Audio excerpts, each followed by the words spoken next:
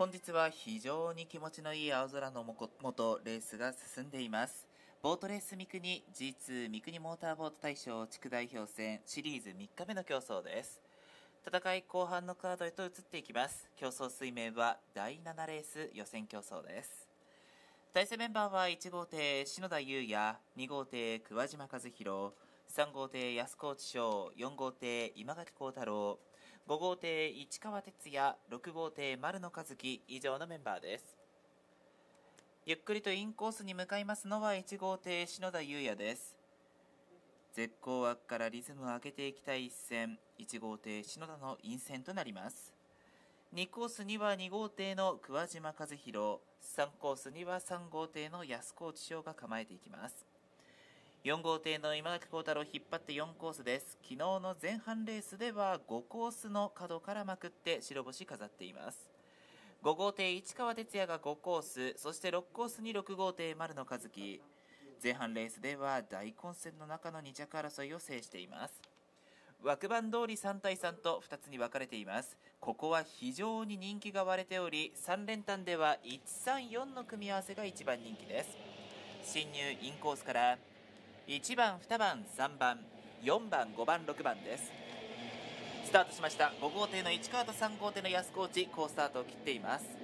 まずは逃げ体勢1号艇の篠田サス2号艇桑島にまくり出す3号艇安河内最内からは4号艇今垣です。先頭1号艇の篠田優也2番手2号艇の桑島に内から4号艇今垣が迫って外に3号艇安河内さらに外5号艇市川6号艇丸の最高峰。スタートは正常です。一緒にマーク1号艇の篠田が先頭2号艇の桑島握って内から6号艇丸の生かし差し返す4号艇今垣さらには3号艇安河内です。1号艇篠田はリードを広げています。2番手2号艇の桑島に内から4号艇の今垣であとは差がなく6号艇丸の内5号艇市川3号艇安河内最高峰です。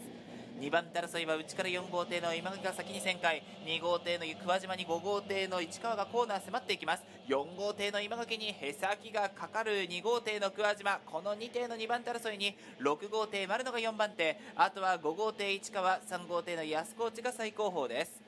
1号艇篠田優也先頭です。2番手は4号艇の今垣。握っていく2号艇桑島6号艇丸の内から続きます。